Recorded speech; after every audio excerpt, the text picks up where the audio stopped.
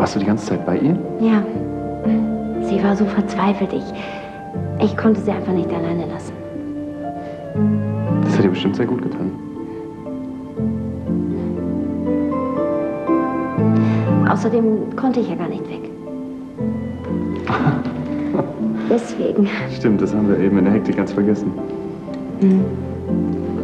Ja, aber ich glaube, jetzt muss ich wirklich los. Die anderen langweilen sich bestimmt schon ohne dich.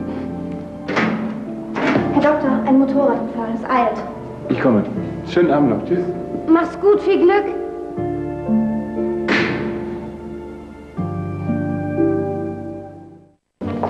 Und die Marktforschung hat bewiesen, dass wir den richtigen Riecher hatten. Ich denke, Sie können den Erfolg ganz allein für sich verbuchen.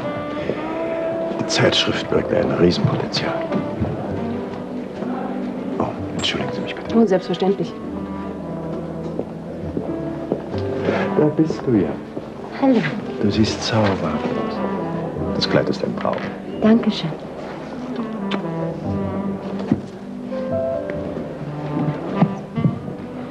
Im Mittelpunkt der Aufmerksamkeit. So liebt sie das. Tja. Wenn Sie schon so lange mit meinem Mann zusammenarbeiten, kennen Sie ihn wahrscheinlich besser als ich. Da können Sie mir sicher ein paar Geheimnisse über ihn verraten. Das wäre das Ende einer langen Geschäftsbeziehung. Das wollen wir doch besser nicht riskieren. Wir sind gleich wieder bei Ihnen. Du bist wunderbar, weißt du das? Man hat den Eindruck, als wenn du alle hier schon ewig kennst. Ich glaube, da überschätzt du meinen Unterhaltungswert. Hm? Oh, ganz gewiss nicht. Hätte sich denn keine Krankenschwester um die Mutter kümmern können? In der Notaufnahme, nein. Da hat keiner Zeit für sowas. Sie sind Ärztin? Das wusste ich gar nicht. Äh, ich nicht, nein. Leonard ist Arzt, der Sohn meines Mannes. Er ist erst seit ein paar Wochen aus den Staaten zurück und hat zum Glück gleich eine Stelle in einer Klinik gefunden. Das wundert mich nicht. Ihre Kinder sind ja alle sehr erfolgreich. Frau Jones. Ja, und mit sehr unterschiedlichen Talenten ausgestattet. Carla ist eine schöngeistige Natur, Ansgar ein Zahlengenie und Leonards Leidenschaft gilt der Medizin. Na, ihr beiden? Carla? Und was machen Sie? Ich, ähm, äh, ich leite ein Gestüt. Allerdings nur noch sporadisch. Ja, sie hat auch eine sehr zeitraubende Aufgabe, die zudem unglaubliche Nervenstärke erfordert. Die Frau an meiner Seite zu sein. Ja.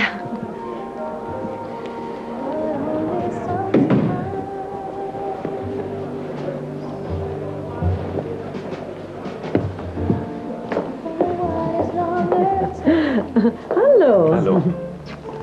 Ich bin gleich wieder da. Und? Amüsierst du dich? Das geht.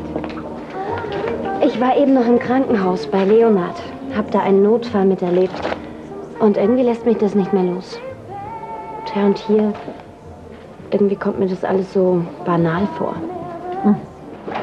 Guten Morgen. Morgen. Bis später.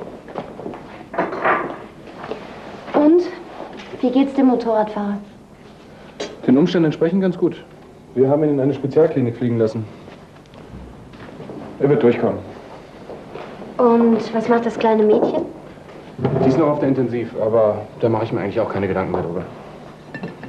Es muss ein gutes Gefühl sein, Menschen zu retten. Hm? Danke. Genau deswegen bin ich Arzt geworden. Hast du deine erste Schicht gut überstanden? Ja, Morgen. Morgen. Cecile hat mir schon erzählt, dass man dich gleich voll eingespannt hat. ja, Langeweile kam nicht gerade auf.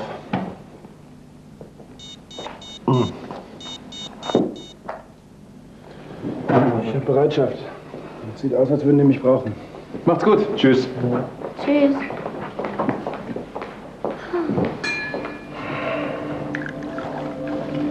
Dankeschön. Sag mal, bedrückt dich irgendetwas? Du warst gestern Abend schon so ein bisschen abwesend. Nein, ich habe gerade nur darüber nachgedacht, wie Leonard in seiner Arbeit aufgeht. Genauso wie Carla und Ansgar. Ja, das stimmt. Die drei sind beruflich sehr beansprucht. Ja, Fehlt dir deine Arbeit? Du warst schon längere Zeit nicht mehr auf dem Gestüt. das läuft doch ganz gut ohne mich. Der Leiter ist ein sehr guter Mann, er hat alles im Griff. Ich weiß gar nicht, wozu ich da überhaupt noch gebraucht werde.